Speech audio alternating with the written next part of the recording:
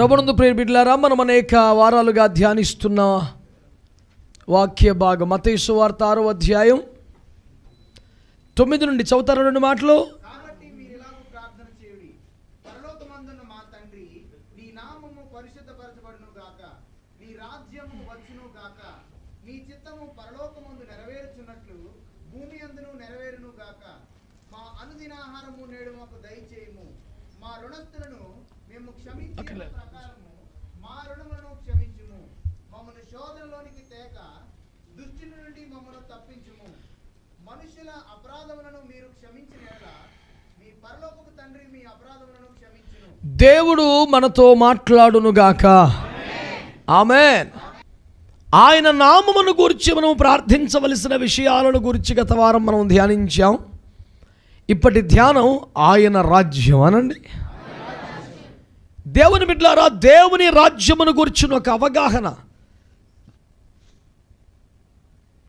ఒక భారం మనం కలిగి ఉండాల్సిన అవసరం ఉన్నది. ప్రభు అంటారు మీరు ఇలాగూ ప్రార్థన చేయుడి అని చెప్పిన వరుసలో ఏ విషయం ఉన్నది ఆయన రాజ్యమును గురించి కూడా మనము ప్రార్థన చేయాలట. ప్రభు రాజ్యాన్ని గురించి మనం ఏమని ప్రార్థన చేయాలి?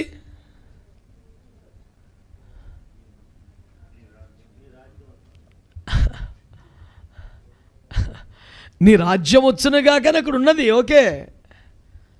మళ్ళీ ఆ పలుకులే వల్ల వేద్దామా? మనం కూడా పొద్దున లేచి ప్రార్థన అయిపోగానే ఏ ప్రార్థన చేసినా చివరి ప్రార్థన మళ్ళీ అదే. నీ రాజ్యం వచ్చునుగాక బాగా ఏకీపించినందుకు సంతోషం.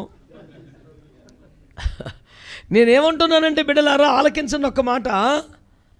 సరదాగా చెబుతాను ఈ మాట. చాలాసార్లు రామకార్థ సంఘాలలో కొన్ని చోట్ల దేవుని చిత్తం దేవుని స్వరం దేవుని నడిపింపు దేవుని మాట దేవుని ప్రమేయం దేవుని జోక్యం ఏమీ ఉండదండి.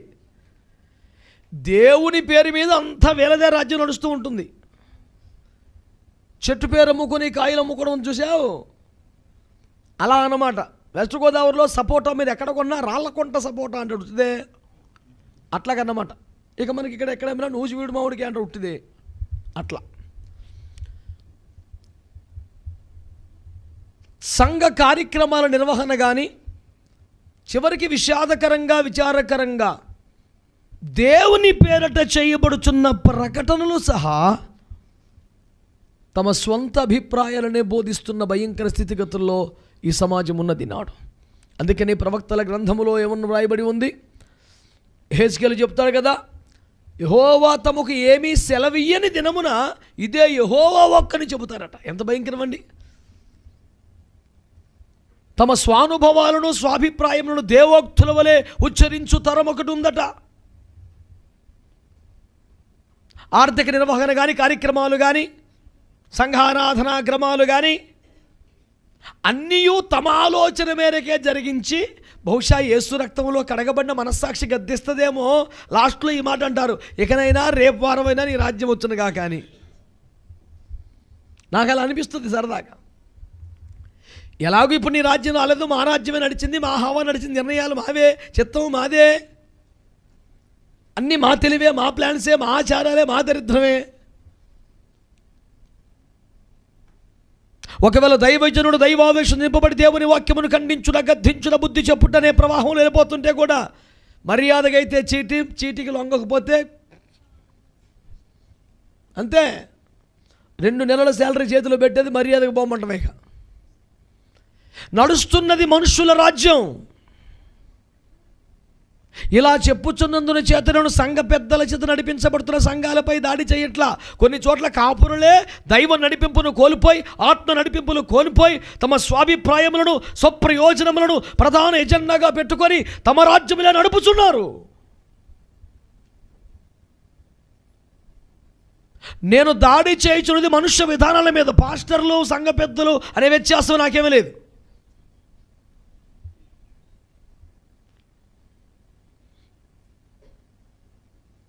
అంత తమ ఇష్ట ప్రకారం కథ నడిపి ముగింపులో మనస్సాక్షి గద్దించినప్పుడు ఎకనైనా నీ రాజ్యం వచ్చునుగాకని పలుకుతున్నట్లుగా ఉంటుంది వ్యవహారం తప్పు. దేవుని రాజ్యము మన మధ్యలోనికి దిగి రావాలి. స్తోత్రం చెప్పండి గట్టిగా. నీ హృదయంలోనికి దేవుని రాజ్యం రావాలి. నీ కుటుంబంలోనికి దేవుని రాజ్యం రావాలి. నువ్వు ఆరాధిస్తున్న సమాజంలోకి దేవుని రాజ్యం రావాలి. అప్పుడు లోకమంతా యెహోవా రాజ్యముగా పరిణమిల అవకాశం ఉంటుంది. అరే నీ గుండెల్లోకి రాంది నీ ఇంట్లోకి రాంది నీ సంఘంలోకి రాంది లోకం మీదకి ఎప్పుడు వచ్చిందయ్యా? దేవుని రాజ్యం?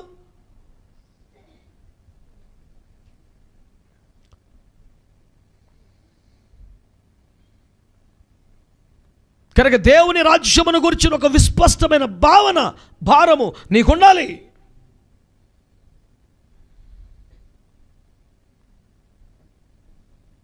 మీరు కంఠోపాఠంగా చెప్పొచ్చు. మతేసు వార్త పదకొండవ అధ్యాయం ఇరవై ఎనిమిది. చూడకుండా చెప్పండి.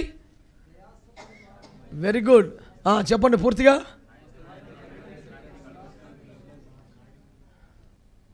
వరస తప్పుతుంది. ఇక చూడాల్సిందే అనిపించింది అన్నమాట పిల్లోడికి. ప్రయాసపడి భారం మోసుకొడుతున్న సమస్త జనులను నా ఎద్దుకు రండి.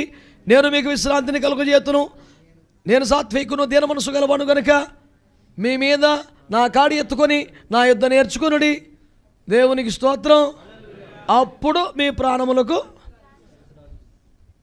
నా మాట శ్రద్ధగా వినండి బిడ్డలారు వాక్యం ఏమంటుందంటే ప్రభు స్పష్టంగా చెబుతున్నారు పాప భారమును మోసుకొనుచున్న ప్రజలారా నా యుద్ధకు రండి. ఇప్పుడు ఎంతమందిని రమ్మన్నట్టు? ప్రయాసపడి భారము మోసుకొనుచున్న సమస్త జనులు ఇది సార్వత్రికమైన పిలుపు యూనివర్సల్ కాల్ ఇప్పుడు ఎంతమందిని తన యొద్దకు రమ్మని పిలిచాడో అంతమందికి విశ్రాంతి వాగ్దానం చేశాడో లేదా మీరు చెప్పండి? మాట్లాడ మంచిగా. దేవుడు అందరికీ విశ్రాంతి వాగ్దానం చేశాడా? నెక్స్ట్ ఎవరికి చెప్పాడు మరి? మీ మీద నా కాడి ఎత్తుకున్నాడు ఎవరికి చెప్పాడు? దెబ్బలు పడతాయి ఇక. అయ్యో ప్రభా. మహాభక్తులకు ప్రణామములు. శ్రద్ధగా ఆలకించుడి. మీరు మా మీద పడిపోతారు అదే వచ్చిన బాధ. సేవకులే తేరకున్నారు. వినండి ఇలాగా. ప్రయాసపడి సమస్ భారం మోసుకొని సమస్త జనులారా నా యుద్ధకు రండి. ఎంతమందిని పిలిచాడు? ఓకే.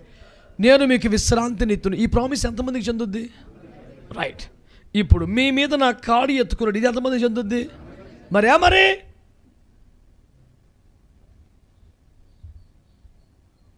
అపవాది మిమ్మల్ని మోసం చేయకుండా చూసుకోండి బిడ్లారా ఇక్కడికి వచ్చేసరికి మీరు ఆయన కాడి మోయిస్తున్నారా? అని అడిగామనుకుని ఏమంటారు? నాకు ఆ పిలుపు కాదండి. నాదా దర్శనం కాదండి. ఆహా. ఎంతమంది ఏసయ్య చేత పిలువబడుతున్నారో? ఇది సేవా పిలుపు కాదని మనవి చేస్తున్నాను. ఇది సేవా పిలుపు కాదు. పాప భారమును మోసుకొచ్చిన ప్రతి ఒక్కరూ యేసు వద్దకు వచ్చిన తరువాత వారి పాపము నుండి వారి శాపము నుండి వారు విమోచించబడిన తరువాత వారు తప్పనిసరిగా వారు మోయవలసినది ఏమిటి ఇప్పుడు? ఏసయ్య భుజముల మీద ఉన్న కాడి. అనండి. ఇప్పుడు చూడకుండానే చెప్పండి మరొక వాక్యం యెషయా తొమ్మిది ఆరు. ఏలి అనగా మనకు శిశుబుడును మన కుమారుడు అనుగ్రహింపడను ఆయన భుజముల మీద ఇప్పుడు మొత్తం పదకొండు ఇరవై ఇరవై తొమ్మిది ఏమిటి? మీ మీద నా కాడి. అనండి? అంటే యస్సు ప్రభు మీద ఒక కాడి ఉన్నది. అనండి? ఆ కాడి ఏమిటి? రాజ్యము. దేని ప్రకారం? ఏషియా తొమ్మిది ఆరు. మీకు అర్థమవుతున్న కనెక్షను కనుక ప్రభువారి భుజాల మీద ఉన్నది ఏమిటి? ఆయన రాజ్యం అంటే తండ్రి రాజ్యమును భూమి మీద స్థాపించుట అనే భారమును ఏసయ్య భుజముల మీద మోయిచున్నారు. అది పట్టుకొని ప్రభువారు భూలోకానికి వచ్చారు. వచ్చి మన పాపపు శాపపు ఆ ఈ భారమంతా సిలువుగా తన మీద వేసుకొని రాజ్యపు భారాన్ని మన మీదకి ఇస్తున్నారు. మీకు అర్థమైంది అసలు? హలో? ఇప్పుడు మన మన పాప భారాన్ని మనమే మేనేజ్ చేయగలమా? ఇది మనతో అయ్యే పని కాదు కదా. మాట్లాడరే. అందుకనే దాన్ని ఎవరు తీసుకున్నారు? ఇప్పుడు యేసు ప్రభు భుజాల మీద ఉన్న కాడి ఏమిటి? దేవుని రాజ్యం అనండి ఇప్పుడు దేవుని రాజ్యం అనే కాడి మనం ఎత్తుకోవాలా వద్దా? అది మనకు వచ్చిన ఐడియానా? ప్రభు ఇచ్చిన పిలుపా? ప్రభు మీద నీకు ప్రేమ ఉందా? ప్రభు మీద భారం ఉందా? ఆయన ఆయన మీద గౌరవం ఉందా? ఇక్కడ అరెకరం ఉంది. మరి భక్తులందరూ నాకు అర్థం అవ్వట్లేదు వెనక ఎంత ఆశీర్వాదం ఉందో నాకు తెలియట్లేదు. బిడ్డ ముందుకురా. భలే పిల్లలరా. నేను అనుకుంటాను నేను గత వారం కూడా చెప్పాను కదా. అదేంటో ఆ చిత్రం. నాకు ఫస్ట్ నుంచి కూడా నేను సేవకుడు ఇవ్వాలి అయ్యారు కానీ సేవకుడు ఫస్ట్ ఆ బలిపీఠం పట్టుకుని కూర్చున్న వాళ్ళు ఫస్ట్ ఎదురుకుండా మేము ఉండాలి. ఎప్పుడైనా పొర్రపాటున మాకేదైనా పరిచయం. మేము లేటుకు వచ్చే సీన్ లేదు. ప్రపంచం తలకిందలు అయిపోయిన ఫస్ట్ కూర్చున్న వాళ్ళం. ఎప్పుడైనా మాకేదన్నా పరిచర్య అప్పగిస్తే రై ఎలా తీసుకురా? అది ఇక్కడ పెట్టో. ఇది జై. అంటే ఎల్లొచ్చేలోపు ఆ చోట్ల ఎవడన్నా కూర్చోండి చచ్చిపోయినంత బాధ వేసేది ఆ బలిపీఠం పట్టుకోవాలంటే వెనక ఒక సెంటీమీటర్ జరిగినా మాకు నెమ్మది ఉండేది కాదు. కానీ ఇప్పుడు భక్తులకి ఎంత వెనక్కి వెళ్తే అంత సంతోషం. ఇది ఒక మర్మము.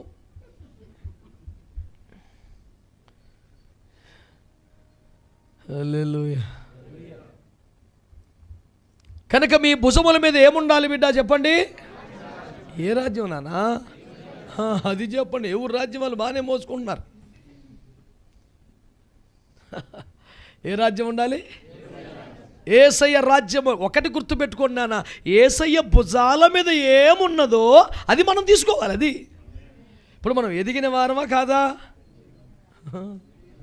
కరెక్ట్గా చెప్పండి. ఎందుకు మరి? పిల్లలం అనుకోండి. తల్లుల చేతుల్లో ఓడిలో భుజాల మీద ఉండాలి. పెద్దలం అనుకొని మనం ఎదిగామనుకోండి పెద్దలం అయితే వారినే కావిడి పట్టుకొని ముయ్యాలి. దేవునికి స్తోత్రం. చిన్న గొర్రె పిల్లను నేను అక్కడ నుంచి నిన్ను మోసే గాడిదాల అక్కడ దాకా రావాలి వ్యవహారం. ఎంతసేపు ఇక చిన్న గొర్రె పిల్లను నేను మెల్ల మీద కూర్చొని ప్రాణం తీయడానికి ఎప్పుడు అదే పనే? కొంతకాలానికి నువ్వు ఎదగాలి కదా ప్రభుని మోసే స్థాయికి రావాలిగా. అందుకనే పరమగీత గ్రంథం మొదటి అధ్యాయం తొమ్మిదవ వచనములో నా నారీమణి సుందరి నా ప్రియురాల సహోదరి సఖి ఇన్ని నాట్లు మాటలు పిలిచి ఏమంటున్నాడు తెలిసిన నిన్ను దేనితో పోల్చాలి బిడ్డ? ఫరో రథాశ్వములతో నిన్ను పోల్చాలి. ఫరో రథములను లాగుచున్న అశ్వముతో నీవు సమానం. స్తోత్రం చెప్పు. అందుకనే ఏసన గారు పడారు నీ రథ అశ్వమునై నీ రథమును లాగే గుర్రమునై నేను ఉండాలయ్యా. అంటే ఆ రథం యొక్క భారం నేను మొయ్యాలి. నిన్ను కూర్చోబెట్టుకొని విజయ తీరాలకి చేర్చాలి. నువ్వు ఎటు కదిలిస్తట్టు పరిగెత్తగలగాలి. గుర్రములు ఎంత షార్ప్గా ఉంటే తెలుసునండి వాటి ముక్కుల్లో నుంచి వచ్చినటువంటి ఆ యొక్క కళ్యమును పట్టుకొని ఇట్లా ఇట్లా అంటే ఇటు టర్న్ అవుద్దంట. ఇట్లా అంటే ఆ తాడుని కొంచెం ఇట్లా ఆగితే ఈ తీగ ఈ తాడు ఇట్లా లాగింది అనుకో వెంటనే తిరుగుద్ది అది. ఇది ఇటు బీకింది అనుకో వెంటనే ఇటు తిరుగుద్ది. ఊరకనా? ఏదో ఎద్దులాగా బరువును మోయటమే కాదు సబ్జెక్ట్ అక్కడ. ఎంత షార్ప్గా ఉంటాయి ఎంత వేగంగా పరిగెడతాయి ఎంత బరువును లాగుతాయి ఎన్ని కొండలెక్కుతాయి నీళ్ళలో పరిగెడతాయి. తమ మీద కూర్చున్నటువంటి యజమాని పట్ల రాజు పట్ల గౌరవంతో రోషంతో పరుగులెడితే తప్ప తమ ముందున్న మార్గము సరళంగా ఉందా కఠినంగా ఉందా అన్నది పాయింట్ కానే కాదా యుద్ధమును లాగే ఆ రథమును లాగే గుర్రాలకి దేవునికి స్తోత్రం కలుగునగా మార్గం బాగుంటే పరిగెడతాయి ఆటంకం ఉంటే ఆగుతాయి. ఎండు గుర్రాలు అందుకని ఎత్తబడే సంఘాన్ని దేవుడు దేవుడు దేంతో పోలుస్తున్నాడు? నిన్ను ఫరోరథముల యొక్క అశ్వములతో పోల్చెదను. ఫరోరథాలతో ఎందుకు పోల్చాల్సి వచ్చింది? ఆనాడు ప్రపంచమంతా కరువు వచ్చిన కారణంగా ఐగుప్తులో మాత్రమే యోసేపు పుణ్యాన ధాన్యం ఉన్నందున ప్రపంచములో ఆహారము లేకపోయినా ధనమున్నవారు తమకున్న వస్తు వాహన సర్వముని ఇచ్చి ధాన్యం పట్టుకెళ్ళే పరిస్థితుల్లో లోకములున్న సర్వశ్రేష్టత అంతయు ఐగుప్తునకు చేరునిది. That was the reason the riches of the world came to Egypt ఇప్పుడు బెస్ట్ హార్సెస్ అన్నీ కూడా ఎక్కడున్నాయి? ఐగుప్తుకు వచ్చేసాయి. మేలు జాతి గుర్రం అంటే ఎక్కడుంది? తదనంతరం అరేబియన్ హార్స్ అనే పేరు ప్రసిద్ధిగాంచింది దాని గురించి గొప్పగా చెప్పేవాళ్ళు ఏమంటారంటే ఒక మంచి ఖరీదైన బెంచ్ కార్ని అరేబియన్ హార్స్ని పక్కన పెట్టి ఏది కావాలంటే తెలివి ఉన్నవాడైతే అరేబియన్ హార్స్ తీసుకుంటాడు తెలుగు తక్కువైతే బెంచ్ కార్ తీసుకుంటాడట. అట్లా చెప్తారు సమాజంలో పెద్దలు. అంటే దానికి ఉన్న విలువ ఖరీదైన బెంచ్ కార్ కంటే ఎక్కువ. అలాంటి అరేబియన్ హార్స్తో దేవుడు సంఘాన్ని పోలుస్తున్నాడు. వధువును పోలుస్తున్నాడు. ఎత్తబడే కన్యకను పోలుస్తున్నాడు. ఎందుకంటే అది ఎత్తుగా ఉంటుందనే కాదు అది బలముగా ఉంటుందనే కాదు అది బరువు లాగుతున్నది యజమానిని మోయిచున్నది వేగముగా పరిగెత్తుచున్నది రహదారి ఎట్లున్నను త్రోవ ఎట్లున్నను గమ్యము చేరుటకు ఉర్రకలు వేయుచున్నట్టుగా ఉంటుంది దేవునికి స్తోత్రం కలుగునగా మనము ఎందుకు పిలువబడ్డా బిడ్లారా? విశ్రాంతి పొందుటకే ఆ విశ్రాంతికి ముందున్న ముందు భాగం. నా కాడి మీ మీద ఎత్తుకునుడు. అప్పుడు మీకు విశ్రాంతి కలగను. మరి నువ్వు కాడి వదిలేసి కాడిని ముట్టుకోకుండా నేను నమ్ముకుంటే విశ్రాంతి నీ దగ్గరకు వస్తే విశ్రాంతి నాకు ఏ నెమ్మది లేదు ప్రాణానికి సుఖం లేదు. అని ప్రభువు మీద ఆయాసపడితే ఏమిటి ప్రయోజనం? ప్రయాసపడి భారము మోసుకొనుచున్న సమస్త జనులారా యేసు వద్దకు వచ్చారా? ఇప్పుడు నేనేం అడగాలి? యేసు వద్దకు వచ్చిన జనులారా మీ పాప భారాన్ని ఆయన మీద వేశారా? ఓ వేశామండి. మరి పాప భారాన్ని ఆయన మీదకి ట్రాన్స్ఫర్ చేసిన భక్తులారా ఆయన రాజ్యం అనే కాడిని మీ మీదకి ఎత్తుకున్నారా అన్నది ఇప్పటి ప్రశ్న.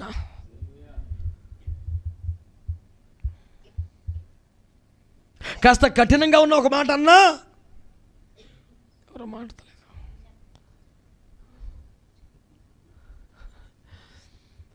నీవు భారమును మోయగలిగిన స్థితికి రాకపోతే నువ్వే ఒక భారం మా పేనానికి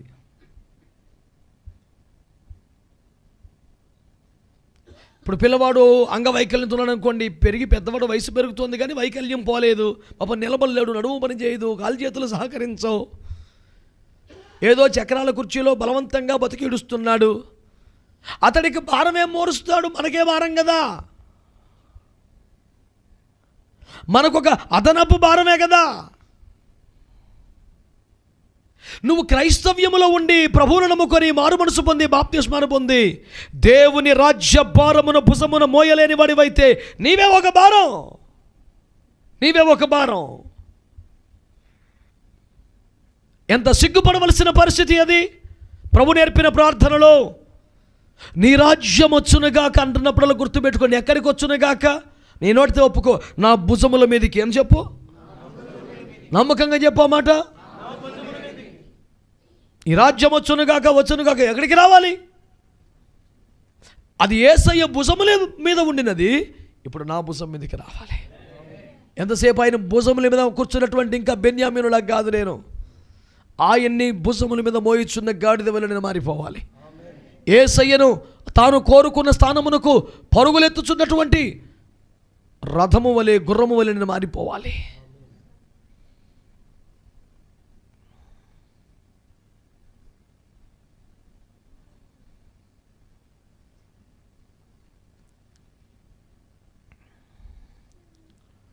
నీ రాజ్యం వచ్చునుగా కానీ పడుకుచున్నప్పుడు అదేది లోక సంబంధమైన రాజ్యం అనుకుంటే ఈ ప్రభుత్వం ఇంకో ప్రభుత్వం రావాలి ఇంకో ప్రభుత్వం రావాలి. అది కాదు అది కాదు అది కాదు.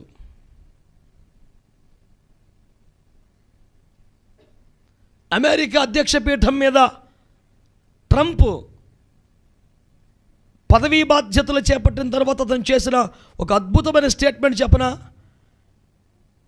దయచేసి క్రైస్తవులను ఒకటి గుర్తుపెట్టుకోండి. ట్రంప్ అధికారము చేపట్టుట లేదు. చర్చిని అధికారంలోకి తీసుకొచ్చుచున్నాడని చెప్పాడు. క్రైస్తవులు మురిసిపోయిన రోజు అది.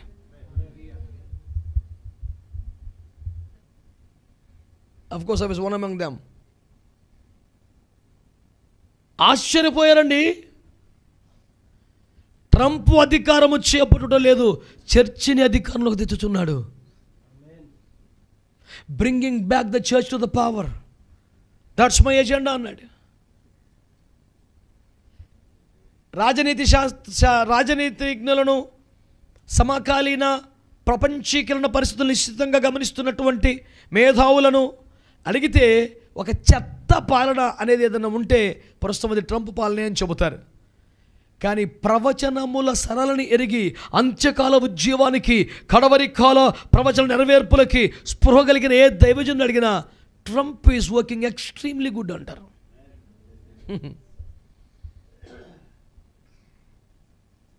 సామాజిక కోణం వేరు క్రైస్తవ కోణం వేరు సార్. ఈ ప్రపంచం యుగాంతమునకు సిద్ధపడుచున్నది కానీ క్రైస్తవ సమయం క్రైస్తవ సంఘం ఏసయ్య రాజ్యమును సిద్ధపడుచున్నది. ఎంత వ్యత్యాసం ఉంది సార్ మరి? అంతమనే దాపునకు చేరుచున్నది. పోతుంది జనమటు భూమి వీడొచ్చు గడియ నీకు రానున్నది దినములు గడుచుచున్నవి. పోతుంది. కానీ మనం దేనికి సిద్ధపడుతున్నాం? నా యేసు రాజ్యం అందమైన రాజ్యం. అందులో నేను నివసిల్తును మనం మన మూమెంట్ అట్టుంది. దేవునికి స్తోత్రం కలిగి. నా యేసు రాబోతున్నాడు. ఇదే భూమి మీద వెయ్యేళ్ళు పరిపాలన చేయబోతున్నాడు. ఇదే భూమి మీద యేసు ప్రభు రాజ్యమును స్థాపించబోతున్నాడు. చెప్పరే గట్టిగా స్తోత్రం అందులో నేను ఒక ప్రేక్షకుని కాదు పాలకుణ్ణి మనము సహించిన వారమైతే ఈ శ్రమ ఈ వ్యాధి ఈ నింద ఈ రోగములు ఈ అవమానములు ఈ తుణీకారం అనుమానపు అవమానపు బాధలు మనము తట్టుకొని నిలబడగలిగితే ఈ శ్రమలు సంతోషించి ఆనందించగలిగితే సహించిన వారమైతే ఆయనతో కూడా ఏలుబడి చేద్దాము. అన్ని రాజ్యాలు అయిపోయినాయి రోమ రాజ్యం అయిపోయింది గ్రీకుల రాజ్యం అయిపోయింది బబులోని రాజ్యం అయిపోయింది బంగారం అయిపోయింది వెండి అయిపోయింది ఎత్తడైపోయింది ఇనుము బురద కూడా ఇప్పుడు నడుస్తుంది సంకీర్ణ ప్రభుత్వాలు. ఇక నెక్స్ట్ది మహోన్నతుని పరిశుద్ధులే రాజ్యాధికారములు ఆమెన్ ఇక నెరవేర్పదే. ఏ దాని ఏరు గంధంలో రాయబడినట్టు బబులోని పాలన అంతమవలేదా? గ్రీకుల పాలన అంతం కాలేదా మాదీయ పారసిక రాజ్యం అంతం కాలేదా ఇనుము మట్టి కలగలిసి తర్వాత విడిపోతున్న సంకీర్ణ ప్రభుత్వాలు రాలేదా? మరి అవన్నీ వచ్చి పరిశుద్ధ రాజ్యం ఒకటి రాదా? వచ్చి తీరుద్దే. మహోన్నతిని పరిశుద్ధులై రాజ్యాధికారమును పొందుదురు. నీకు సంగతి చెప్పనా? ఆ రాజ్యములో నీవు ఉందువా అన్న వాక్యం ప్రశ్న. ఆ రాజ్యములు నువ్వు ఏలుదువా అన్నది కాస్ట్లీ. ఆ రాజ్యం భూమికి పరిమితమైనది కాదు దాన్ని విశ్వరాజ్యం అనండి. అందుకే భూరాజులందరూ మహిమ తెచ్చడి. ఎంతో దూరం లేదు నాన్న. ఇప్పుడు అమాయకంగా కనపడుతుంది సియోను కొండ. ఆ రోజున దాని ప్రభ ఎట్ట కనపడుతుందో తెలుసా నీకు? సూర్యుడు ఎందుకు పనికొస్తాడు సార్ దాని మహిమ ముందు? సియోను కొండ మీద నా యేసు కూర్చొని ప్రపంచాన్ని పరిపాలించబోతున్నాడు. హల్లెలూయా. అమరావతి కట్టబడాలి ప్రపంచానికే తలమానిక రాజధాని కట్టబడాలి. అయినను నాకు సంతృప్తి కలగదు. ఎందుకంటే ఇది భూమి మీద లయమైపోయే రాజ్యాలు. పిలా యేసుప్రభు అంటాడు నాది లోక సంబంధం ఎందుకు? మాకు ఇక్కడ ఏం లేదనలా. నా రాజ్యం ఈ లోకములో లేదని చెప్పలేదు. నా రాజ్యానికి లోకానికి సంబంధం లేదన్నాడు. ఏంటయ్యా నువ్వు అందరూ రాజు రాజు అంటున్నారు నీ మీద కంప్లైంట్ పెడుతున్నారు నువ్వేమో సంఖ్యల మధ్యలో ఉన్నావు. నువ్వేం రకం రాజు అయ్యా నువ్వు? నువ్వు ఇంతకీ రాజువా ఏంటి? నాతో చెప్పు. అన్నాడు అమాయకంగా కుర్చీలో కూర్చొని. ప్రభు అంటాడు నీవన్నట్టు నేను రాజుని. రాజా ఏంటి? సరైన బట్టలు లేకుండా ఊళ్ళలో రక్తం వేసుకుని ఓ కిరీటం లేదు ఓ సింహాసనం లేదు. నువ్వేం రాజువే బాబు నన్ను అనుమానం చూస్తుంటే నేను రాజునే. కానీ నా రాజ్యం ఈ లోక సంబంధమైంది. నా రాజ్యం ఈ లోకంలో లేదన్నాడా? ఈ లోక సంబంధమైంది కాదు. అది పరలోకములోనే ఉంటే ఈ లోకంలో ఉండదని చెప్తాడు. ఈ లోకములో ఉండి ఈ లోకంతో సంబంధం లేకుండా ఉంది చూసావు అది దేవుని రాజ్యం. ఈ లోకంలో లేదా దేవుని రాజ్యం? అది మీ మధ్యలోనే ఉన్నదని చెప్పాడు ఏసయ్య లోక పదిహేడులో. ఈ లోకములో ఉన్నది కానీ ఈ లోకముతో సంబంధం లేకుండా ఉంటున్నది. స్తోత్రం చెప్పండి. అంటే ఈ లోకం పోకడ ఈ లోకం విధానాలు లోక పద్ధతులు లోక అధికారాలు లోక రాజ్య పాలన విధానాలు ఇందులో ఉండవు.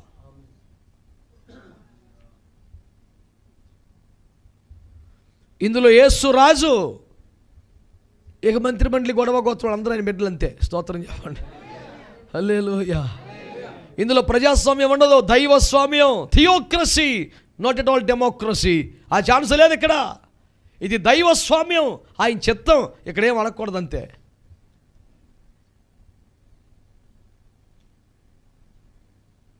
ఆయన శిరస్సు మనం శరీరం.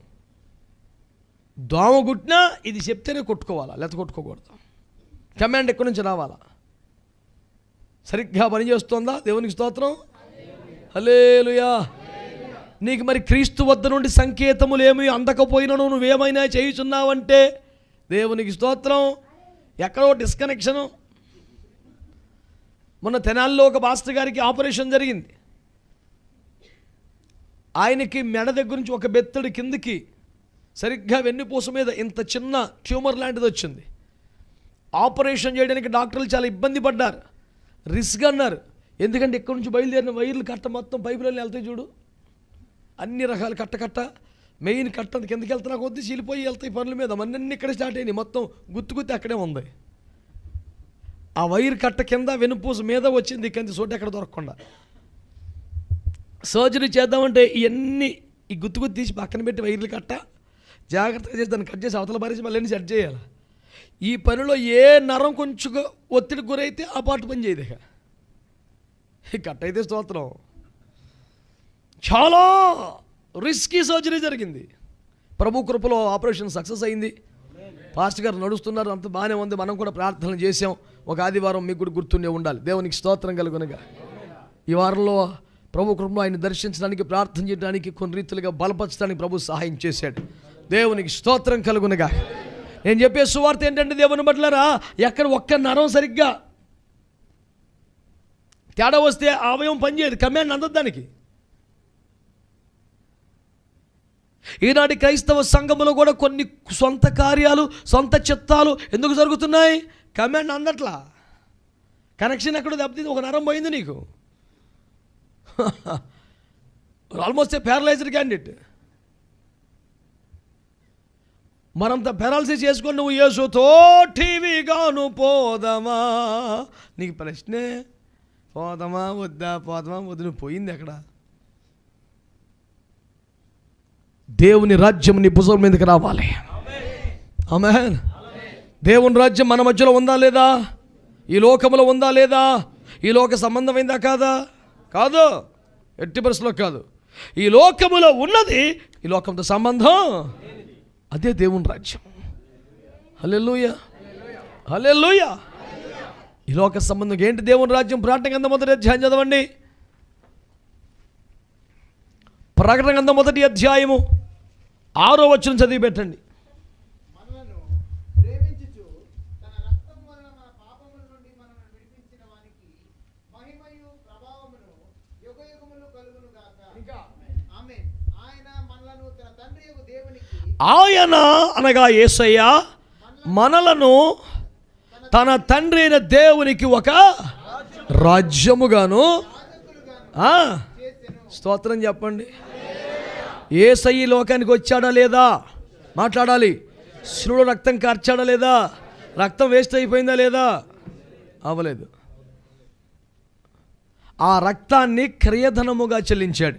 అబద్ధానికి అసత్యానికి అమ్ముడైపోయిన మనల్ని ఆ రక్తం పెట్టి కొన్నాడు. కొని ఏం చేశాడు? తన తండ్రికి ఒక రాజ్యంగా మార్చాడు.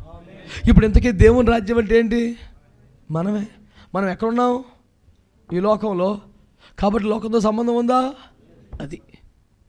ఈ లోకములో ఉండి ఈ లోకంతో సంబంధం లేకుండా లోకానికి భిన్నంగా ఎదుగుటయే దేవుని రాజ్యం. ఈ నమూనా కొత్తగా వచ్చింది కాదండి ప్రారంభం నుండి ఉంది. ఏంటా నమూనా? నా మాటలు శ్రద్ధగా వినాలి. ఏంటా నమూనా? నిర్గమకాండము రెండవ అధ్యాయములో లేవీలో కుమారుల్లో ఒకనికి మోషను పిల్లోడు పుట్టాడు. అవునా కాదా? మాట్లాడాలి మీరు చక్కగా. అతగాన్ని కాపాడటం వల్ల కాలేదు. సమ్ము పెట్టారు కీలు పూసారు నైలున్న దీలో విడిచిపెట్టేశారు. ఏం జరుగుతుంది మీరు ఏమో చూస్తూ ఉంది? మొత్తానికి వ్యవహారం చేయగలిగింది. అమ్మగారు వచ్చారు. ఏయ్ ఒకబేతో వీనిని తీసుకుని పోయి నా కొర్రకు పెంచు. అలాగేనండి. కానీ తీసుకెళ్ళి దేవుని కొరకు పెంచింది. ఎట్టు పెంచింది ఆమె వచ్చినప్పుడల్లా అదిగో మమ్మీ వచ్చారు మమ్మీ చూడు మమ్మీ అను మమ్మీ అను. వెళ్ళిపోగానే నిజానికి ఆమె కాదు మమ్మీ. నీ రాజ్యం ఇది కాదు. నువ్వు ఇబ్రిల్ల సంతతి ఐగుప్తుడు కాదు. నువ్వు దేవుని బిడ్డవి ఇస్రాయల్లో విమోచకుడుగా దేవుని పుట్టించాడు. నువ్వు దేవుని కోసం బతకాలి. ఐగుప్తులో ఉండి ఐగుప్తు తిండి తిని ఐగుప్తు చదువు చదివి ఐగుప్తులో సుఖాల వెనక పడక అరణ్యములో శ్రమలు పుడుటకు పెంచబడ్డాడు. స్తోత్రం చెప్పండి. ఐగుప్తు రాజభోగములో అనుభవించినట్లుగా ఐగుప్తు పరిపాలన ఎంజాయ్ చేయనట్లుగా సుఖభోగములో సంతోషించినట్లుగా ఆమె అతనిని పెంచలేదు కానీ ఎంత శ్రమ అయినా ఎంత పోరాటమైనా దేవుని చిత్తంలోకి వచ్చినట్లుగా సుఖభోగాలకు దూరమగ్గినట్లుగా అరణ్యయాత్ర చేయనట్లుగా నలభై సంవత్సరాలు ఫస్ట్ ఫార్టీ ఇయర్స్ ఎక్కడున్నాడు? ప్యాలెస్లో తర్వాత ఎయిట్ ఇయర్స్ అడివి అరణ్యం ఎడారే బతుకు. అల్పకాల పాప భోగం అనుభవించడం కంటే దేవుని ప్రజల శ్రమ అనుభవించడం మేలని ఎంచుకున్నాడు. ఐగుప్తు ధనము కంటే క్రీస్తు విషయమైన నింద గొప్ప భాగ్యమని ఎంచుకున్నాడు. ఫరో కుమార్తె కుమారును అనిపించుకున్నట్టుగా ఇష్టపడలేదు ఒప్పుకొనలేదు.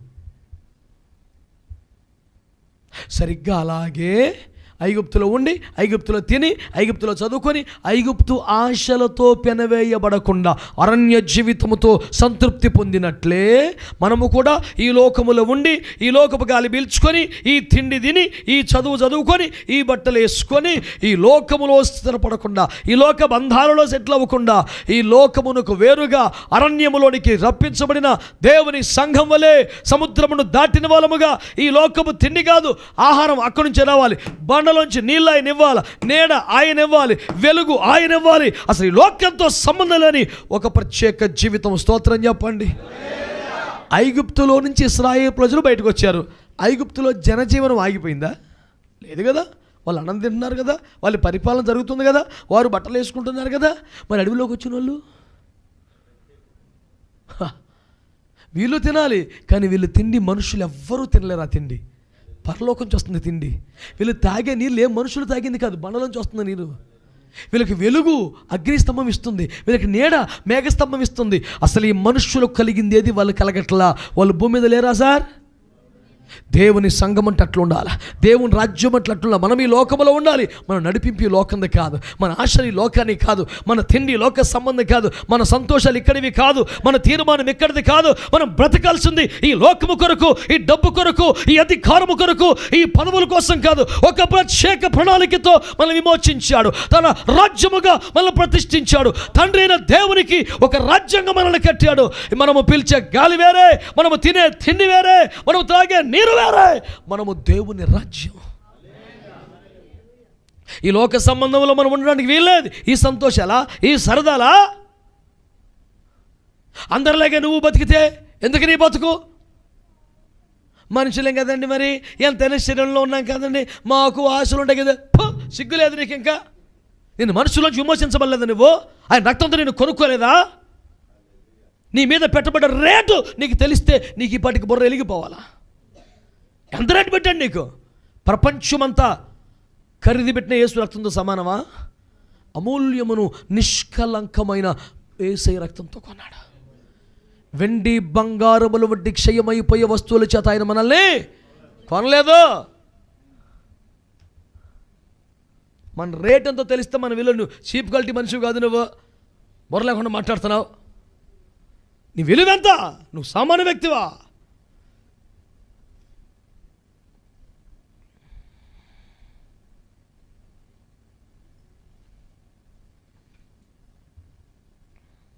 నిర్గమకాండం ఇరవై మూడో జయంతి అండి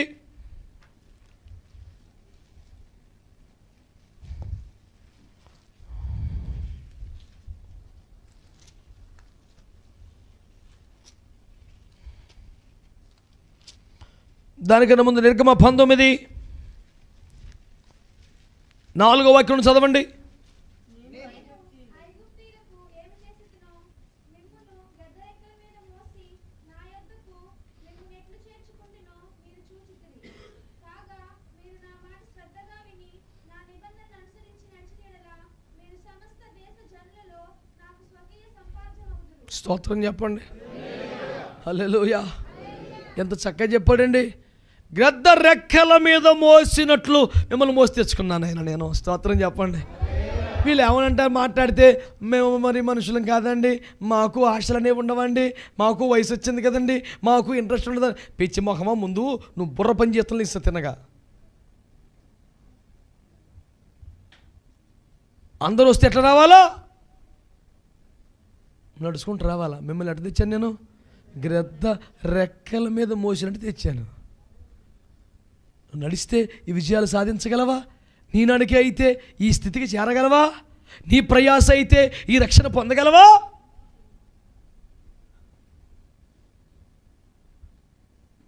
సెంటర్కి వెళ్ళి మినరల్ వాటర్ కొనుక్కొని తాగొచ్చు నువ్వు. కానీ బండల నుంచి వచ్చిన జలమును తాగలవా నీవు?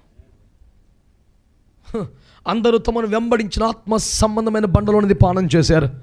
దావిదంటే నా నిమిత్తము యోబంట నా నిమిత్తం బండలోంచి నూనె ప్రవాహముగా వచ్చుచున్నది ఏమేన్ బండలోంచి ఆ నీరు బండలోంచి ఆ నూనె బండలోంచి ఆ రక్తం నీకోసం ఎన్ని ఏర్పాట్లు చేశాడు. ఆ బండ నేను వెంబడిస్తున్న బండగా మార్చేశాడు. నీకు అన్నం కావాల్సి అక్కడి నుంచి రావాలి. నీకు నీరు కావలిస్తే వెనకాల బండలోంచి రావాలా? నీకు వెలుగు కావలిస్తే అగ్ని స్తంభం రావాలా? నీకు నీడ కావలిస్తే మేఘ స్తంభం రావాలా?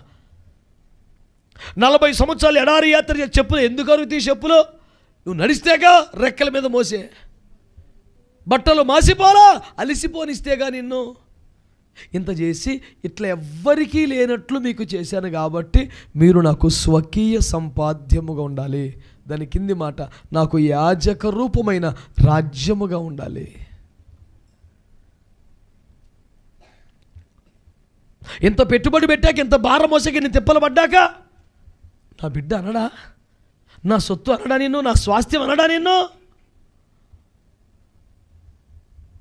అద్భుతాలు జరుగుతున్నప్పుడేమో ఏమంటారు నాకెందుకు అద్భుతాలు కావాలి? అందరూ పడుతున్నట్టే బాధలు పడవచ్చు కదా? అవునంటారు ఎంతోమంది ఎన్నో ప్రమాదాల్లో యాక్సిడెంట్ నన్ను కాపాడావు నాయన. ఈ వారంలో ఎంతోమంది యాక్సిడెంట్లో గాయాలైన నాకు ఎందుకు గాయం అవ్వలేదని ఎడుతావా నన్ను కాపాడిన వాడానికి స్తోత్రములు? ఆరోగ్యం ఇచ్చావయ్యా వందనాలు. అప్పుడు బాగానే ఉంటుంది రాగం. కానీ వాక్యం ఏం చెప్తుంది? ఇంత చేశాను కనుక నీవు నాకు స్వాస్థ్యం నాకే సొంతం. నువ్వు నా సొత్తు. నిన్ను పది మందితో పంచుకోమని నాకు కుదరదు. నువ్వు నాకు మాత్రమే చెందిన బిడ్డవి. ఈ అద్భుతమైన భావనను అందంగా చెప్పింది పరమగీత కన్యక. నేను నా ప్రియుని దానను అతడు నావాడు. ఒక్క మొక్కలో తెగొడింది క్రైస్తవ సౌందర్యవంతం ఉంది లైన్లో దేవునికి స్తోత్రం కలుగునగాక. నేను నా ప్రియుని దానను అతడు నావాడు. ఇంకా ఉంది కోటి రూపాయల మాట కింద. అతడు నా ఎందు ఆశాబద్ధుడు. నా మీద ఆయన ఆశ పెట్టుకోవచ్చు. అబ్బా ఎంత దమ్ముండాలంటే స్టేట్మెంట్ ఇవ్వాలంటే? మన రివర్స్ నేను నీ ఎందు ఆశాబద్ధుడను? నీ మీద ఆశ ప్రభా నిన్ను నమ్ముకున్నాను నాయన నాయన నాయన నా స్వార్థం నన్ను కాదనక అయ్యా. ఎంతసేపు మంది డెడ్ అయిపోయిన ఫోన్లో మాట్లాడితే అవతల ఏం కూడా మనకు తెలియదు వన్ వే అతడు నా ఎందు ఆశాబద్ధుడు చెప్పగలుగుతావు ఆ మాట? ఎంత చక్కని మాట అండి. నాకెంత ఛాలెంజ్ అనిపిస్తుంది మాట చదివితే. ప్రభు నా మీద ఆశ పెట్టుకో నిన్నెప్పుడు నిరాశపరచను. ఈ మాట చెప్పగలడు? ఎంత చ- ఎంత చిన్న విషయం అండి అది? దమ్ము సరిపోవాలని మాట్లాడడానికి. ఎంత వైరాగ్యం రావాలి ఎంత సమర్పణ రావాలి ఎంత నియంత్రణ రావాలి ఎంతగా వధించుకోవాలి ఎంతగా నలగొట్టుకోవాలా ఎంతగా అప్పగించుకోవాలా సత్యత్వం చచ్చిపోతే తప్ప ఈ మాట చెప్పలేవు నువ్వు. ఈజీ కాదు. ఎందుకని? మన రాజ్యం కాదుగా. ఆయన రాజ్యం. చెప్పడం మన ఇంట్లో ఎవరు రాజ్యం నడవాలి? నిజమేనా? ఆదివారం చర్చిలో నీ ఒంటరితనంలో ఏమే? దేవుని రాజ్యం. మన రోజు దైనందిన ప్రార్థన అయిపోవాలి. ప్రభా నీ రాజ్యం రావాలయ్యా. నా బ్రతుకులో నా కుటుంబంలో నా సంఘంలో ప్రతి చోట నీ రాజ్యమే ఉండాలి. ఏమేన్ ఇంతకు ఆయన రాజ్యం అంటే ఏంటి? ఆయన రక్తము చేతి విమోచించబడ్డ ప్రజలే దేవుని రాజ్యం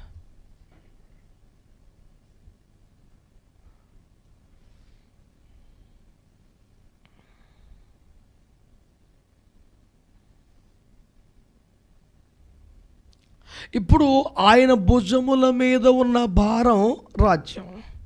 మన భుజం మీదకి రావలసిన భారం ఆ రాజ్యం. ఇప్పుడు ఆ రాజ్యం అంటే ఏమిటి? ఆయన రక్తముతో కొనబడి విమోచించబడ్డ ప్రజ. అంటే ఒక్క ముక్కలో ఆయన సంఘం అనండి. ఆయన రాజ్యం అంటే? అంటే మన భుజం మీద ఏ భారం ఉండాలి? అంటే సంఘము యొక్క భారం నీ భుజం మీద యథార్థంగా చెప్పండి. ఎంతమంది సంఘాన్ని భుజం మీద మోస్తున్నారు. సంఘానికి వచ్చి మేము ఆదరించబడ్డామండి. సంఘానికి వచ్చి మేము బలపరచబడుతున్నామండి. సంఘానికి వచ్చి మేము ఎంత బానో మరి దేవుల్లో ఆనందిస్తున్నామండి. కరెక్టేనండి. మరి నిన్ను బట్టి సంఘం ఎప్పుడు ఆనందిస్తుంది నాన్న?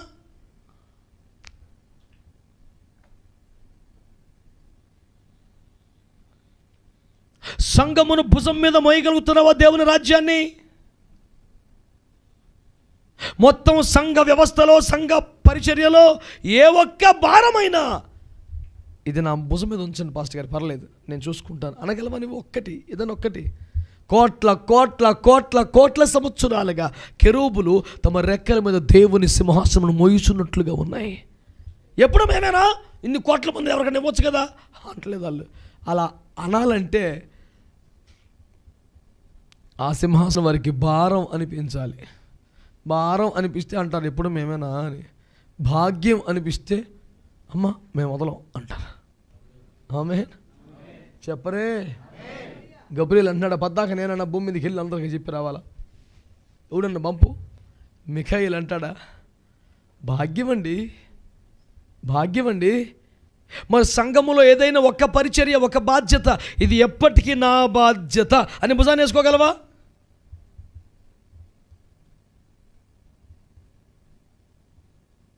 కనీసం మందిరం అంతా తుడిచి చేపలేసే పని చేయాలంటే కూడా ప్రతి వారం నేనే చేయాలనిపిస్తున్నాను మూడు సార్లకి. నీకు దేవుని రాజ్యము కాన్సెప్ట్ పూర్తిగా రాలేదు ఇంకా అది సమస్య. నేను పని చేస్తున్నాను నేను తగ్గించుకుంటున్నాను నేను భారం మోస్తున్నాను అనిపిస్తుంది కానీ నేను దేవుని రాజ్యంలో ఒక భారం భాగం. కొంత భారాన్ని నేను మోయవలసిన వ్యక్తిని ఈ భారమును మోయిట నా బాధ్యత. నీకు అనిపించిందా ఎప్పుడైనా? కాన్సెప్ట్ ఏంటి? ఆయన రాజ్యం వచ్చునుగాక ఎక్కడికి? అది కాన్సెప్ట్. నీ భుజముల మీదకి రావాలి. ఆమెన్. ఆమెన్. రాజ్యం భారమా భాగ్యమా? మర్యాద కోసం తెలివిగా జవాబు చెప్పారా? హృదయపూర్వకంగా చెప్పారా? దేవునికి స్తోత్రం కలుగునగా. హల్లెలూయా. ఆలోచించండి. దేవుని రాజ్యం కొరకు ఎంతలా మనం ప్రయాసపడుతున్నామో ఒకసారి ఆలోచించండి. దీన్ని సుదీర్ఘంగా లాగించాలని కాదు కానీ బిడ్డలారా ఒక ప్రాముఖ్యమైన అనుభవంలోకి మిమ్మల్ని తేవాలని ఆశపడతా ఉన్నాను. దేవుని సంఘం దేవుని రాజ్యం!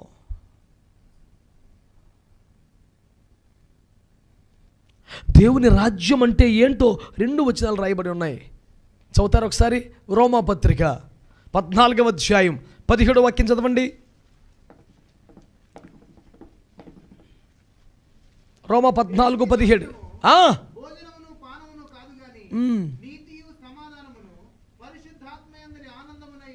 మరి ఎంతకని ఏం చెప్పాలి చెప్పండి. దేవుని రాజ్యం అంటే భోజనము పానము? మరి చర్చి అన్నాక మరి ఏదో ఒక యాక్టివిటీ ఉండాలి కదండి. కొంచెం పిక్నిక్ వెళ్దామా? ప్రా ప్రేమ విందు. ఉరగడయ్య గారు పద్దాక వైరాగ్యం వైరాగ్యం వైరాగ్యం. మన దేవుడి సాకు దేవుడు. పేతురు దేవుడు. యోనా దేవుడు. ఇంకా కొంతమందిని తప్పించారే మరి? వాళ్ళ పేర్లు కూడా చెప్పండి. దేవుని రాజ్యము భోజనము పానము కాదు.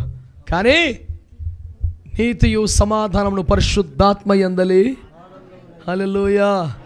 అంటే ఎంత నిక్కచ్చిగా అని చెప్తున్నాడు దేవుని సంఘమే దేవుని రాజ్యం కనుక ఇదే దేవుని రాజ్యం అని మురిసిపోకండి. ఇది ఒకవేళ నీతి లేనిదైతే సమాధానము లేనిదైతే పరిశుద్ధాత్మ ఎందలి ఆనందము లేనిదైతే కేవలం భోజనము పానము ఇత్యాది కార్యములు కలిగి ఉంటే అది దేవుని రాజ్యము కాదు అని కరాడికనే చెప్పేస్తున్నాడు. ఓహో ప్రార్థనగంధం ఒకటి ఆరు ఏడు వచ్చాల ప్రకారం ప్రాణగంధం ఐదో అధ్యాయం పదకొండు వచ్చాల ప్రకారం మనమే దేవుని రాజ్యం అంటే సంఘమే దేవుని రాజ్యం గొడవ తెలిపోయింది హల్లేలుయా అని ఫిక్స్ అయిపోతున్నావు. గుర్తుపెట్టుకో ఇది కేవలం భోజనము పానము వంటి శరీర సంబంధమైన క్రతువులతో మాత్రమే పరిమితం అయి ఉంటే ఇది దేవుని సంఘం అనబడదు కానీ ఇది నీతి కలిగిన సమాజం అయి ఉండాలి. ఇది సమాధానము కలిగిన స్థితిలో సంఘం ఉండాలి. ఏ ఒక్కరికి ఇద్దరికి కుటుంబములు కానీ భార్యాభర్తలు కానీ తల్లి బిడ్డలు కానీ తండ్రి కొడుకులు కానీ సహోదరి సహోదరులు కానీ స్పష్ట స్పష్టమైన సమాధానము కలిగి ఉండాల? ఏ దశలో కూడా నీతి తప్పిన బతుకు బతకూడదు.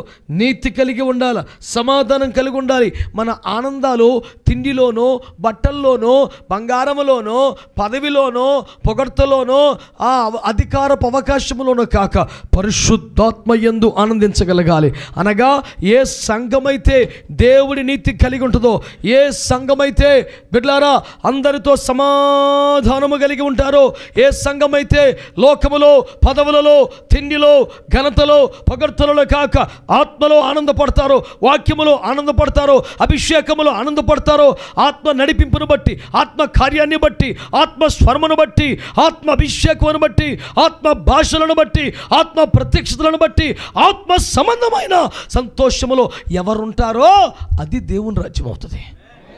ఒకవేళ అట్లా కాకుండా ఇది దేవుని రాజ్యం అని పేరు పెట్టుకొని సమాధానం లేకపోతే ఒకరికి ఒకరి మధ్యలో?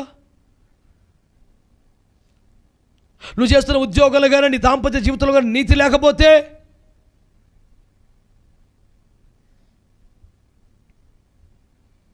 నువ్వెన్నటికీ దేవుని రాజ్యం కాదు. దేవుని రాజ్యం అంటే భోజనము పానము కాదు. నీతి సమాధానం పరిశుద్ధాత్మ ఎందలి ఆనందం. కొరింది పత్రికలు ఒక మాట చదవండి. మొదటి కొరింది పత్రిక నాలుగవ అధ్యాయం. పద్దెనిమిది నుండి ఇరవై దాకా చదవండి.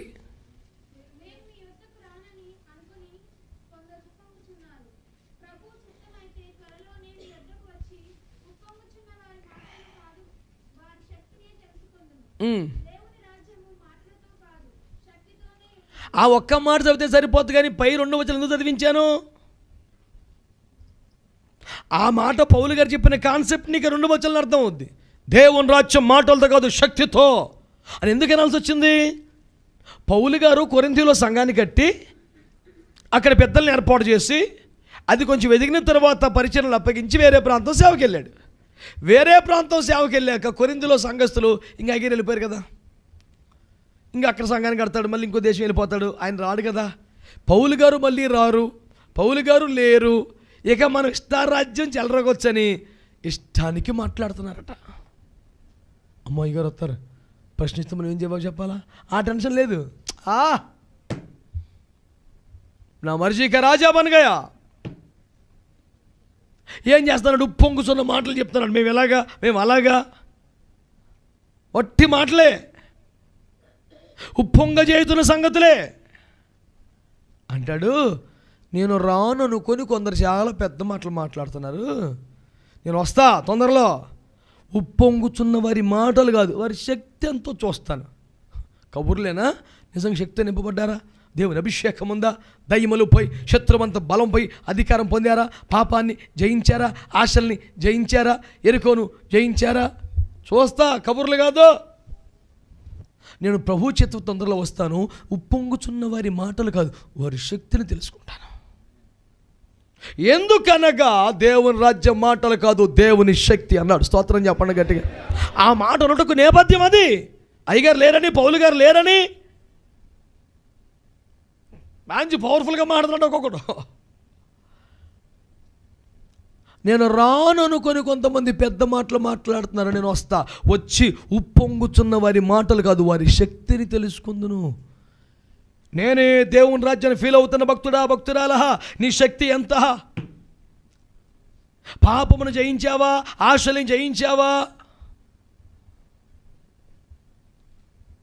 మేక పిల్లలు గొర్రె పిల్లలు పౌరం పిల్లలు తీసుకెళ్ళి బలిపీఠం పెడితే సరిపోయేది పావురంలో పాత నిబంధనలో ఇప్పుడు నీ శరీరములు కోరికల గుర్రాన్ని అణిచి బలిపీఠం మీద తేవాలా? నీకు శక్తి ఉందా? శరీరం నలగొట్టుకునే సామర్థ్యం ఉందా? శరీరపు క్రియలో నలిగిపోతున్నావా నువ్వే? నీ ఆత్మ శరీర కార్యమును నలుగుచున్నదా? శరీరమును నలగొట్టుచున్నదా? నీ శక్తి అంతా. ఒట్టి మాటలు చెప్తున్నావా? పాపముతో పోరాడుటలో రక్తము కరుణంతకు ఎదిరించట్లేదు మీరు. బలహీనత కనపడుతుందా? ఇంకా నువ్వు జయించని వారిగా ఉన్నారా? జవాబు చెప్పు మరి. పౌలు కన్నా దేవుని రాజ్యం అంటే ఇందాక చెప్పుకున్నమాట నీతి సమాధానం పరిశుద్ధాత్మ ఎందలి ఆనందం. ఇప్పుడు చెప్తున్నాడు దేవుని రాజ్యం అంటే మాటలు కాదు. కబుర్లు కాదు నువ్వు శక్తితో నింపబడాలి. పైనుండి ఆత్మ మీదకి వస్తే మీరు శక్తి పొందుతారు. శత్రు బలమతం మీకు అధికారం ఇచ్చాను. అపవాదం మీ పాదము కింద చితకు దక్కించేస్తాను. శరీరంకి మీరు ఉన్నస్తులు కారు. శరీరమును లోపరుచుకోవలసిన వారు ఉన్నారు. శరీరమును నలగొట్టుకోవలసిన వారు ఉన్నారు. శరీరమును జయించవలసిన వారు ఉన్నారు. ఆత్మ చేత శరీర క్రియలను చంపితే బతుకుతారు. మీరు ఆత్మ సంబంధంలో అని దేవుడు మాట్లాడుతున్నాడు. మీరు మాటలు కాదు ఉప్పొంగుచున్న మాటలు కాదు. మీలో ఉన్న దేవుని శక్తిని కనుగొంటాను నేను. ఎందుకనగా దేవుని రాజ్యం అంటే మాటలు కాదు మరి శక్తి. శక్తి.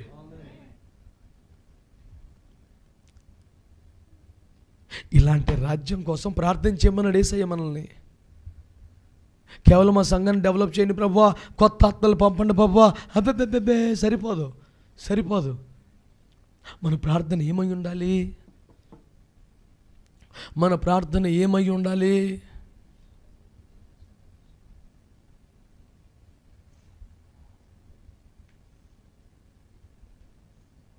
ప్రభువా మేము నీ రాజ్యముగా మారాలయ్యా.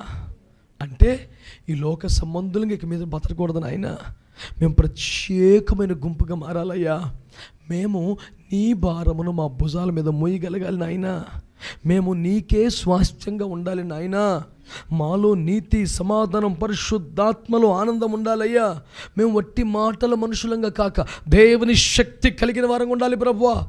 ఇది నిత్యము మన ప్రార్థన అయి ఉండాలి ఈ ఏడు పేడవన్ లాంటిది ఏమీ లేకుండా మొత్తం నీ నీ పనే నడిచి మా లాస్ట్లో మటుకి నీ రాజ్యం వచ్చునుగా అంటే.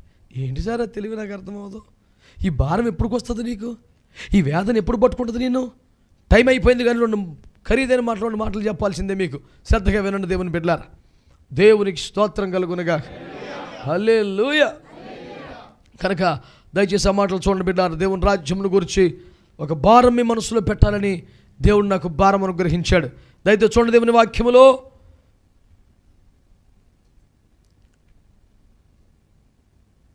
మొదటి సమయాల గ్రంథం పదిహేడవ అధ్యాయం.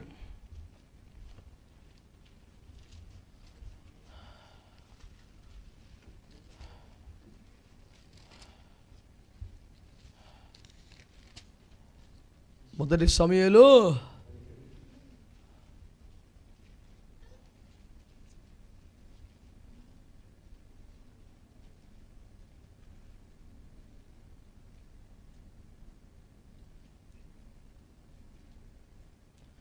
ఇరవై ఐదు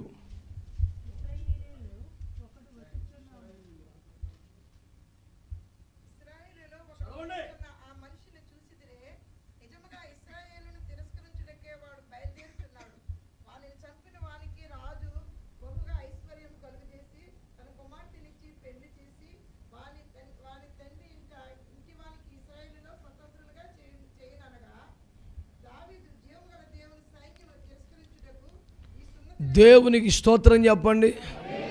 హల్లేలుయా. హల్లేలుయా. నా మాటలు వింటున్నారా బిడ్లారా నా మాటలు వింటున్నారా? గొల్లియాత కూడా వచ్చి చెలరేగిపోతున్నాడు. ఏయ్ మీలో ఒక్కడు లేడా? అని పెద్ద పెద్ద మాటలు మాట్లాడుతున్నాడు. సౌలు అంటాడు రే ఎవడైనా ఇలాంటి చంపితే నా కూతుర్నిచ్చి పెద్ద చేస్తా. ఐశ్వర్యవంతుని చేస్తా. రాజ్యంలో వాటా ఇచ్చేస్తా అడుగుదాం మనలో అనమాట అరే బాబు సవులు నిన్ను దేవుడు ఎందుకురా రాజ్యం మీద పెట్టాడు? రాజ్యాన్ని విస్తరింపజేయుటక వాటాలేసి పనిచేయటానిక నిజానికి రాజ్యం ఎవరిదండి? తాను జరిగి పక్కకి తన స్థానంలో నిన్ను పెట్టాడు. నువ్వు రాజ్యాన్ని విస్తరింప చేయలేకపోతే కనీసం దరిద్రానికి ఉన్నదాన్ని కాపాడాలి కదండి. నువ్వు రాజ్యాన్ని విస్తరింప చేయలేకపోయావు కనీసం రాజ్యాన్ని కాపాడాలి కదా. యుద్ధం వచ్చేసరికి ఏం చేస్తున్నాడు? రాయ్ చెప్తాను ఎవరికైనా ఒక మూడు భాగాలు అని చంపేశారండి ఒకవేళ నీ ప్రాటం మురిసిపోయి ఎవడైనా వెళ్ళి అని చంపేస్తే నువ్వేం చేయాలి అప్పుడు? రాజ్యంలో ఒక మూడు ముక్కలు తీసుకు ఇవ్వాలిగా? అంటే రాజ్యం రెండు రాజ్యాలు అయిపోద్దిగా? ఒక థర్టీ పర్సెంట్ పోయినట్టేగా? ఇప్పుడు థర్టీ పర్సెంట్లో ఇస్రాయల్ దేశం ఏది? సెవెంటీ పర్సెంటా థర్టీ పర్సెంటా? ఒక మాట స్పష్టంగా మీరు గ్రహించాల్సిన ఒక ఆలోచన తెలుసుకోండి బిడ్డారా దేవుని వాక్యాన్ని గురించి నువ్వు స్పష్టంగా గ్రహించాల్సిన ఒక మాట. నిన్ను రాజ్యమును డెవలప్ చేయడానికి రాజ్యాన్ని కాపాడడానికి రాజ్యాన్ని విస్తరింప చేయడానికి దేవుడు నిన్ను ఏర్పాటు చేశాడా? లేకపోతే ఉన్న రాజ్యాన్ని ముక్కలేసి పంచిపెట్టడానికి దేవుడు నిన్ను ఏర్పాటు చేశాడా? దేవుడు నిన్ను ఎందుకు ఏర్పాటు చేశాడు? సరే ఇతగాడు వరం అయిపోయింది. ఆ తర్వాత దేవుడు ఎవరిని పెట్టాడు రాజుగా? చెప్పండి ఎవరిని పెట్టాడు? దావీదును పెట్టాడు. ఈ దావీదును పెట్టిన తర్వాత దావీదు ఏం చేశాడు తెలుసా? నలభై సంవత్సరాల పాటు యుద్ధాలు చేస్తూనే చేస్తూనే రాజ్యాన్ని ఒక మహా సామ్రాజ్యంగా విస్తరింప చేశాడు. నేను మిమ్మల్ని అడుగుతున్నాను దేవుని రాజ్యంలో నీవు ఒక భాగం కదా? కదా? నీ భుజముల మీద దేవుని రాజ్యం ఉంది కదా? నేను ఇప్పుడు నేను అడుగుతున్న ప్రశ్న నువ్వు రాజ్యాన్ని ఉన్నది మూడు ముక్కలు చేసి దగ్గొట్టి నాశనం చేసే రకమా? రాజ్యాన్ని విస్తరింప చేసే రకమా? నువ్వు సౌలువా దావీదువా?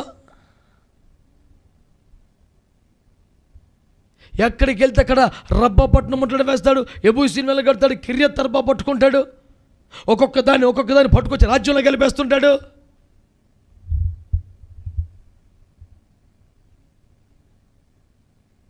నేను ఒకటే అడుగుతున్నాను సవులు రాజ్యాన్ని ఇంకా చిన్నది చేసే ప్రయత్నంలో ఉన్నాడు. కానీ దావీదు దాన్ని సామ్రాజ్యముగినంతగా విస్తరింప చేశాడు. ఆమె అలాగే మీకు రెండవ రాజు ఇరవైలో ఒక రాజు కనపడతాడు హిస్కి ఆయన పేరు. ఏం పేరండి? హిస్కియా చనిపోయే పరిస్థితులు ఉన్నాడు కదా. అతడు కిటికీ వైపు తిరిగి ఏడ్చి ప్రార్థన చేస్తే ప్రభు ఆయుష్ పొడిగించాడు కదా. మూడో రోజున మందిరానికి ఎక్కి వెళ్ళేంత ఆరోగ్యాన్ని పదిహేను సంవత్సరాల ఆయుష్ పొడిగింపజేశాడు. ఆ మలి దశలో అతనికి అద్భుతమైనటువంటి మనుష్యుని కుమారుని ఇచ్చాడు. అతని పన్నెండు ఏటే రాజయ్యలు పోయేలా చేశాడు. ఎన్నెన్ని కార్యలు ప్రభు చేశాడండి? ఇన్ని కార్యాలు చేసిన తర్వాత అతను చేసిన నిర్వాహకం వల్ల ఏమైంది చెప్పండి? దేవుని శాపం వచ్చి ఇజ్రాయేల్ ప్రజలు యూదుల బబులోని చెరలోనికి అంటే ఒక స్వతంత్రమైనటువంటి ఇస్రాయేలు రాజ్యం బబులోని చెరలోకి వెళ్ళిపోయి చెరపట్టబడ్డ రాజ్యంగా మారిపోయి ఆ భయంకరమైన స్థితిలోకి దిగజారిపోయినటువంటి కారణానికి దానికి కారణం ఎవరు చెప్పండి? హిజ్కియా. హిజ్కియా. ఇప్పుడు హిస్కియా వలన ఏం జరిగింది? రాజ్యం ఏకంగా చిన్నదవటం కాదు. పోయింది మొత్తం రాజ్యమే. రాజ్యం చెరపట్టబడింది బబులోని చెరలోకి వెళ్ళిపోయింది వీళ్ళు బానిసలైపోయారు. నేను అడుగుతున్న ప్రశ్న సవులు రాజ్యం చిన్నదిగా అవటానికి కారణంగా ప్రయత్నించబడ్డాడు దావీదు రాజ్యాన్ని విస్తరింపు చేశాడు. హిజ్కియా రాజ్యాన్ని పోగొట్టేశాడు. దేవునికి స్తోత్రం దానియలు షడ్రక్ మెషక్ అభిలు ఉపవాసాలు ఉండి విజ్ఞాపనలు చేసి తిరిగి రాజ్యాన్ని పొందుకోగలిగారు? చేతులెత్తి స్తోత్రం చెప్పండి గట్టిగా. నలుగురు వ్యక్తులు మీ ముందు పెడుతున్నాను. సౌలు దావీదు హిస్కియా దానియలు. సౌలు రాజ్యం తగ్గిపోట కారణమవుతున్నాడు. దావీదు రాజ్యాన్ని విస్తరింప చేశాడు. హిస్కియా రాజ్యాన్ని చెరలోనికి వెళ్ళిపోయేట కారణమయ్యాడు. దానియలు విమోచించబడటానికి కారణమయ్యాడు. దేవుని రాజ్యంలో నీవు కూడా ఒక భాగమే. అడుగుతున్నాను నువ్వు సౌలువా దావీదువా? నువ్వు హిస్కియావా దానియలువా? నీ వలన రాజ్యం విస్తరిస్తుందా? రాజ్యం తగ్గుతుందా? మొత్తానికే పోతుందా? ఆయన రాజ్యం వచ్చునుగాక మన ప్రాంతములు ప్రబలునుగాక మన భుజముల మీద నిలుచునుగాక మనము రాజ్యమును మోయుదుముగాక మనము రాజ్యమును విస్తరించుదుముగాక చెరపట్టబడిన స్థలముల్లో రాజ్యమును తిరిగి సంపాదించుదుముగాక దేవుని రాజ్యం అనబడుతున్న నీతి సమాధానం పరిశుద్ధాత్మలి అందరి ఆనందము అభిషేకము సమృద్ధిగా మనలో నివసించునుగాక